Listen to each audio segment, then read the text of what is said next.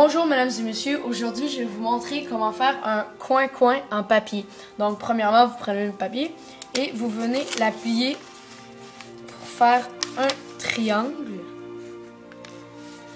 comme ceci. L'excédent vous le coupez avec des ciseaux.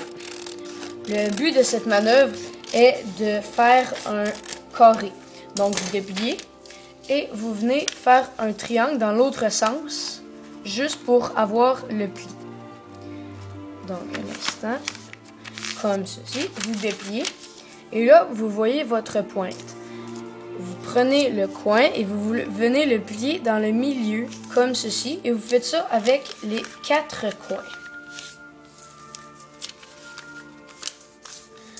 Comme ceci.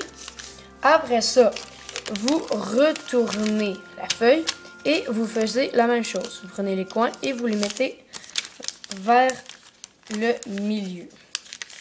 Donc, un instant. Après, il vous reste juste à plier comme ceci. Et pour euh, le mettre plus maniable, vous voulez le replier comme ça et le replier comme ça. Et là, vous pouvez ouvrir toutes les parties comme ici, qu'ils sont, ils sont tous ici. Très simple, vous les voyez. Comme ça ici. Un autre ici, un autre ici.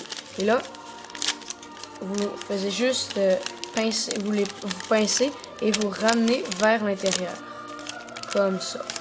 Et votre coin-coin est terminé. Amusez-vous!